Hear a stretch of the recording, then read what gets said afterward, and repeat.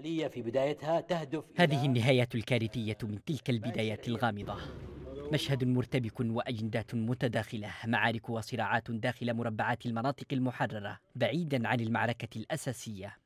انشغلت دولتا التحالف السعودية والإمارات في المناطق المحررة وتفرغتا لأجنداتهما التي لم تعد خفية. دفعتا الأموال وأنشأتا التشكيلات العسكرية والسياسية لامتلاك النفوذ والسيطرة على المناطق والمنشآت الحيوية بعيدا عن السلطة الشرعية للبلاد. كانت البدايات بالسيطرة على منشآت عدن وسواحل حضرموت والمهرة ومؤخرا في سقطرى وشبوة.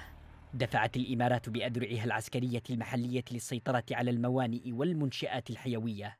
عاشت المحافظتان خلال هذا الأسبوع ليالي صعبة. وكانتا على شفا الوقوع في مستنقع الفوضى والصراع الداخلي. ولا يزال ذلك ممكن الحدوث في الأيام المقبلة.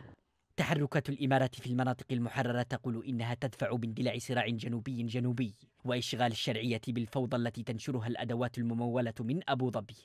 أما السعودية فصمتها أقرب للتماهي منه إلى عدم الرضا عما يجري. يحدث كل هذا في المناطق المحررة بالتزامن مع تصاعد الأصوات الشعبية وبعض الأصوات الحكومية بضرورة تصحيح مسار العلاقة بين التحالف والشرعية ووضع حد لهذا التجريف. تصاعد هذا الصوت يقابله غياب تام للمؤسسات الرسمية. غاب صوت الرئيس هادي ومؤسسة الرئاسة. فيما ظهر رئيس الوزراء العائد من أول زيارة له لأبو ظبي مقللا من خطورة ما يحدث في سقطرى وشبوة واصفا التحذيرات بالتهويل الإعلامي غير المبرر وهو ظهور ألقى بالكثير من الأسئلة حول الهدف من الزيارة ونتائجها. لم تنتهي التوترات بل انتقلت لمربع آخر في عمق الشرعية. في محافظة أبين برز توتر جديد بين قوات الحزام الأمني المدعومة من الإمارات وبين قوات الأمن التابعة للسلطة المحلية.